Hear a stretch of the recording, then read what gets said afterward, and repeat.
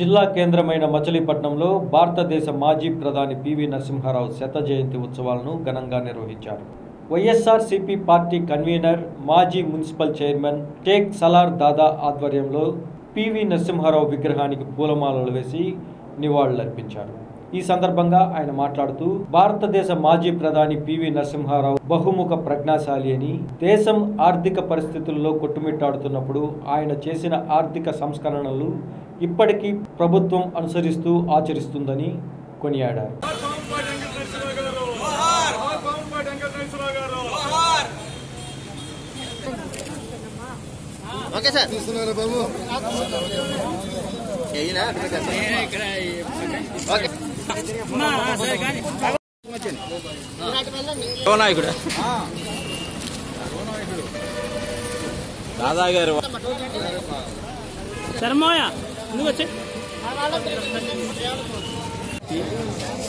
ఆంధ్రుల యొక్క ఆత్మగౌరవాన్ని దేశ దేశాలలో మరి ఆత్మగౌరవాన్ని కాపాడినటువంటి మహోన్నతమైన వ్యక్తి పివి నరసింహరావు గారు. పివి నరసింహరావు గారి యొక్క జయంతి కార్యక్రమాన్ని ఈరోజు ఎంతో ఘనంగా వైఎస్ఆర్ పార్టీ కార్యాలయంలో ముందు వారి యొక్క చిత్రపటానికి పేర్ని అంటారు నాని గారి యొక్క సారథ్యంలో ఆఫీస్లో దండేయడం జరిగింది. తదనంతరం దాని తర్వాత మన మెయిన్ పార్క్ దగ్గర ఆ యొక్క కాంస్య విగ్రహాన్ని కూడా పూలమాల వేసి ఘనంగా నివాళులర్పణ జరిగింది ఎందువల్లంటే దేశాడేటువంటి వ్యక్తి ఎవరైనా ఉన్నారంటే ఇవాళ ఆనాడు పీఎం సోదరు గారు చెప్పి చెప్పడంలో కూడా మరి ఇందిరాగాంధీ గారు కానివ్వండి ప్రతి ఒక్క రాజకీయ ఉన్నటువంటి నాయకులందరూ కూడా మరి ఆయన ఆదర్శంగా తీసుకునేవాళ్ళు. మరి వారి జయంతి కార్యక్రమాలు ఈ రోజు వాళ్ళు ఇక్కడ ఒక యాభై బ్రాహ్మణులకి యాభై ప్యాకెట్లు నిత్యావసర వస్తువులు ఐదు వందల రూపాయలు కిట్ చొప్పున ఒక యాభై మందికి ఇక్కడ ఇవ్వడం జరిగింది. ఎందువల్లంటే అటువంటి మహోన్నతమైన నాయకుడు మరి ఈ రోజు వారి యొక్క పుట్టినరోజు సందర్భంగా మరి ప్రతి మరి ప్రతి వాటి కూడా మరి బ్రాహ్మణుల బ్రాహ్మణులకి అందరికీ కూడా మరి ఆ, ఆ యొక్క కిట్లు ఇవ్వటం వల్ల అందరు కూడా వారి యొక్క చిరునవ్వు. ఎందువలంటే ఈ వాళ్ళ కోవిడ్ ఈ యొక్క ఉన్నటువంటి లాక్డౌన్లో మరి ఇటువంటి వాళ్ళకి అందరు కూడా మరి ఉపయోగపడతాయని చెప్పే ఉద్దేశంతోనే మన సత్యప్రకాశ్ అనేటువంటి మరి యువకుడు ముందుకు వచ్చి మరి పివి నరసింహ జయంతి కార్యక్రమాన్ని పురస్కరించిన వాళ్ళ యాభై మంది కూడా ఐదు వందల రూపాయల చొప్పున యాభై కిట్లు ఇవ్వడం జరిగింది. భాష కోవిదుడు.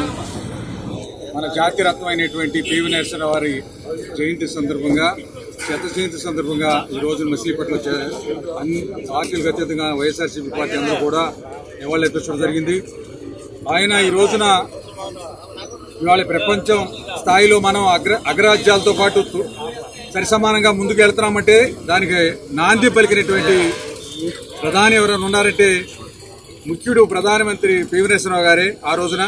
ఎందుకంటే సరళీకృత కృతచూపుతో ఈ భారతదేశాన్ని ముందుకు తీసుకెళ్ళే క్రమంలో మొన్న ఎంతో పేరు ప్రతిష్టలు తీసుకొచ్చినటువంటి జాతీయ నాయకుడైన జాతి రత్నం అయిన ఆయనకి భారతరత్న తప్పనిసరిగా ఇవ్వాల్సిన అవసరం ఉంది.